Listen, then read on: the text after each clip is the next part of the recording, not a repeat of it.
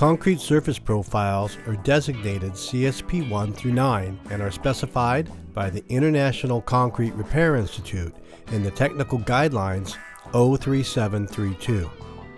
For our application, we require a CSP 3. This will provide us with a suitable profile for repairs or priming. Before we begin, let's check to be sure we have everything we need to start the application including the PRM16 polishable repair mortar, calibrated containers, clean water, a hand trowel or putty knife for the application, and personal safety gear.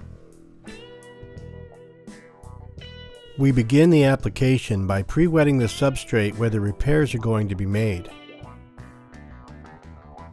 This will help ensure a good bond to the substrate and prevent rapid moisture loss during the application.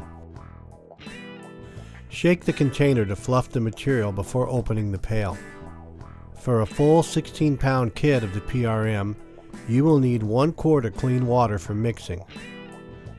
To mix a smaller amount like we are here, we will use the ratio of 4.5 parts of powder to 1 part of water.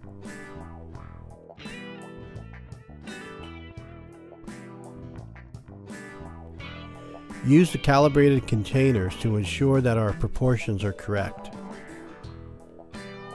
Mix to a smooth and even consistency.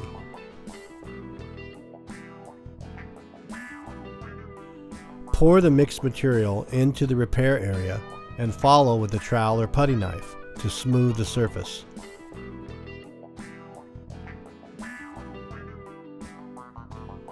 For polishing applications, you should leave the repair area 1 8 of an inch above the surface.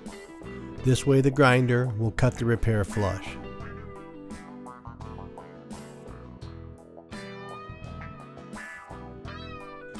Continue the application until all of the areas have been repaired.